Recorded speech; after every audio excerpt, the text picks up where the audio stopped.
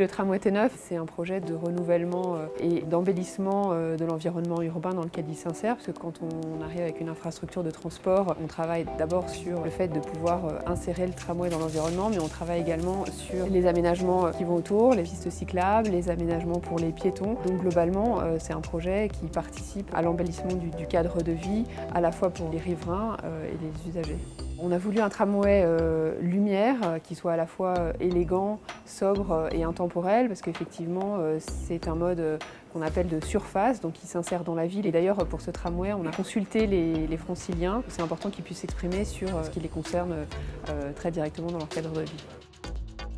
À Île-de-France Mobilité, nous sommes donnés de grands objectifs pour la réalisation de ce tramway. Ce tramway nouvelle génération est plus performant et plus capacitaire. Il peut emporter 314 personnes. C'est plus de confort pour les voyageurs, plus de services, une information dynamique, des ports USB, une meilleure accessibilité PMR avec plus d'accès et des espaces spécifiques identifiés d'une couleur particulière. Et enfin, des matériaux plus robustes qui faciliteront la maintenance et l'entretien de ces matériels. Thank you.